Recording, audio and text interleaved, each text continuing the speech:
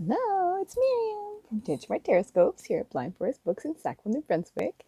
And today I'm doing a reading on Saturn going direct in Capricorn. So, Saturn goes direct in Capricorn uh, tomorrow morning, October 29th, or September 29th at 2.11 in the morning. Uh, and it will stay direct in Capricorn until December 17th when it moves into Aquarius for good. So we had a taste of what um, Saturn in Aquarius will look like earlier in the year. But yeah, we're doing our last leg in Capricorn. This is the last presentation of major challenges surrounding how you're going to be making it up the mountain. Saturn is the planet of challenge. Capricorn is the sign of the sea goat, so the persevering little goat half that that can climb anything, and then the bottom half is the fishtail. So if you fall off the mountain, you just swim back over and climb right back up. Saturn is in its ultimate power in Capricorn, and it also is the sort of epitome of leftover patriarchal energy. So we are actually at the end of this year, we are shifting right out of that vibe and into the energy of Aquarius. So they, everybody talking about the age of Aquarius, here we come. So anyway, the decks I'm using today are the Isis Oracle, the Wisdom of Trees Oracle, uh, Ascended Masters Oracle, and Goddess Guidance Oracle as a super deck, and the Thoth Tarot. Yay! So let's get right into it with the shadow cards. So we start with White Tara, sensitivity. So the energy you've come through uh, very much involved you realizing what was not working for your energy. What a consistent theme that has been lately. So basically, you're being congratulated for listening to that and really releasing all those patterns that you knew were no longer serving. So those could be addictions, those could be uh, eating patterns, those could be uh, relationships that you know were kind of crushing you. But yeah, you've basically been doing such important work to rise above. Our next oracle card is Goddess of 10,000 Names. So this is like a mantra card for me. So yeah, people have really been doing a lot of work to um, find sort of a meditation practice that works, or even just like little affirmations to say to yourself through the day to keep you in your power. But yeah, you have really um, been presented with what you knew you were not mastering. We have Ash Mastery reversed uh, alongside the Ace of Cups reversed. So you've come through a really important outpouring as well, where you use your voice in a powerful way. And that managed to sort of extinguish the last of, again, what was not working for you. And yeah, that brings us to now with Saturn directing Capricorn. So things will get probably more um, difficult and pressuresome, but you have the tools you need to surmount this last leg of the Saturn and Capricorn journey, which brings us to the main reading. Yay. so we start with Let It Go, Kuan Yin. So you're in this beautiful place, place of self compassion which is helping you continue to release your remaining obstacles and prepare you for this beautiful humanitarian energy that is about to rush in and quite literally change the entire world. Whoa. And so, our next main oracle card is Cartouche. So, we have two um, cards that are about speaking. Um, affirmations, uh, speaking forth your spirituality, speaking forth your story in order to both inspire others and continue to inspire you to stay on track with what you have learned um, really works for you and is helping you blossom and let go of what no longer serves. And so, our final main oracle card is Sweet Orange Zest.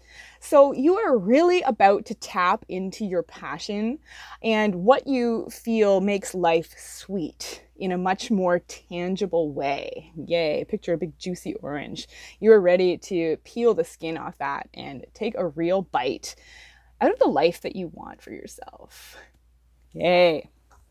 So, what will be the main theme of Saturn direct in Capricorn.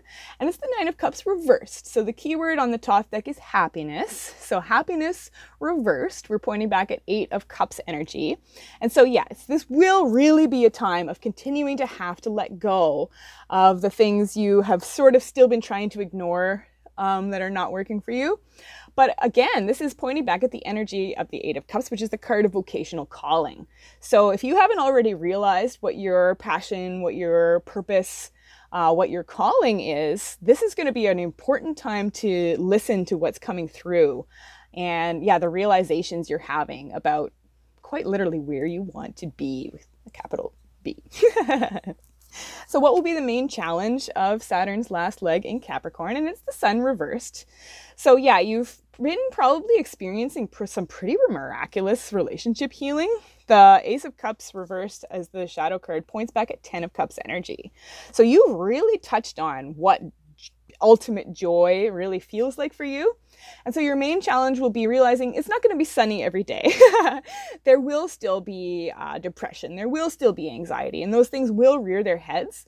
But you can really know that you have um, access the tools that you know help you move through those times of darkness. Beautiful. Good job, everybody. And so, uh, what major challenge are you ready to overcome? And we have the Eight of Wands, Swiftness. This is one of my favorite cards, and the Thoth one is particularly lovely. But this is the card of, yeah, sudden changes amazing, almost miraculous shifts that could only have happened um, as a result of the energetic work you've been doing. And so, yeah, you are really finding your voice. We've got Mercury and Sagittarius here. So you're ready to um, take aim with the ideas you have for this passion, vocational calling sort of energy, and you're ready to, to shoot your arrow. And you can know that you really will be making your mark. So, oh, I love that we have rainbows um, to reflect that Ten of Cups energy, bringing us to the reading too.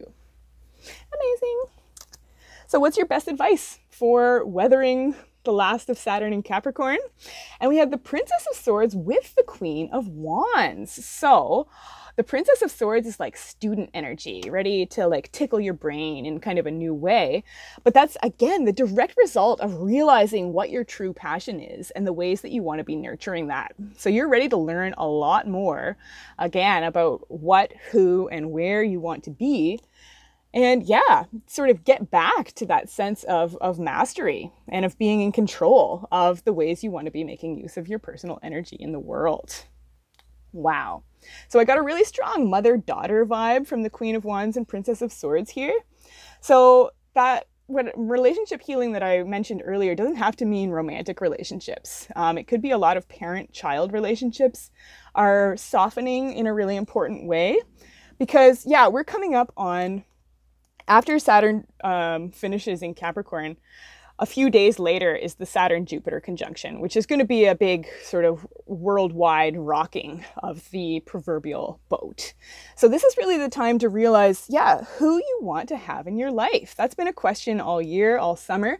But yeah, really decide like, imagine if you were like Noah preparing the ark, who are you bringing on your ship?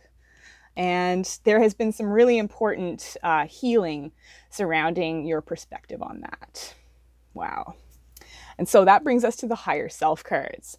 Wowie. We start with father, husband, brother, son, Osiris, which is fascinating next to the card from the Isis Oracle, which is the brother in darkness, overcoming negative energy with feminine power. So Osiris is actually Isis's counterpart, um, who he got like dismembered and scattered across the earth, but she went and found all his pieces and resurrected him with her magical power. So, the entire world's perspective on masculinity and what that means is also about to receive a giant shake. And literally, our men, the men we care about, uh, are going to need a lot of support, uh, especially if they have not been particularly engaging in the sort of spiritual um, pursuits that you have been. But and again, though the the masculine in general is poised for some really intense healing and merging with the feminine. So that can feel very exciting. It can feel uh, daunting because, yeah, you're about to have to use your energy in a much bigger way. So that's why all these affirmations and practices that you've been establishing are going to be so important to maintain. But again, uh, Suji, sacredness, really affirms that you have become so strong. And yeah, you're really ready to uh, deliver everybody you care about into the future with you. Wow. So our final higher self card is the Princess of Wands. Yay! So here's the Queen of Wands' other daughter. but yeah, you are ready to learn a whole lot more about your passion, what it can do for you, and you're really ready to just sort of ride your newfound energy, the energy you've been gaining from all these spiritual practices, because your vibration has been just expanding and fluctuating, and you're about to really enter just a totally new phase of the way you're sharing that with the world. So she's got a big tiger here, and I love that her headdress looks like the Aries symbol. So I think we can really look forward to the spring, the astrological new year, which begins with Aries season, which starts uh, March 20th. Um, that's going to really be a time where it feels like actually the sun comes up again in some important way. But yeah, we are all poised for a super reinvigoration of our relationships, um, of our sense of being powerful, and of our realization of the direction we want our energy to be being applied. Wow. So, yeah. Um, let me look at my notes. Yeah, we're learning more. We're developing our passions in bigger ways than ever. Um, yeah, so much relationship healing. There's such an emphasis on family here. So, again, really think about who you want in your life. and Saturn in Capricorn is going to really help you um, let go of who you don't and um, strengthen your relationships with who you do. Mm-hmm. And so there were no Pentacles cards, so stay focused on grounding. Do not drop your practices. Uh, in fact, enhance them, add more if you're feeling it. Um, but keep doing what you're doing because it really is working for you. And yeah, the gap numbers in the reading add up to nine. So that's the energy of healing. So everything that you want to be healing is because you've been so focused on that happening for yourself. And nine is also the number of being almost there. So this is the last push. We are about to really see the world change a lot, like palpably beginning with the winter solstice. And so get excited, keep climbing, and that's it for today. I hope you enjoyed this reading. Uh, if you did, you can feel free to subscribe. You can like the video. You can leave a comment if it resonated. You can even share if you think other people would benefit. Uh, if you're interested in a private reading with me, you can check out my Etsy shop. The link will be below, as will links to my Facebook and Instagram, where you can follow me for daily readings and tidbits about my own spiritual journey. And yeah, that's it for now. Until next time, keep your hearts open, keep your eyes on the skies, I'll talk to you soon. Bye bye.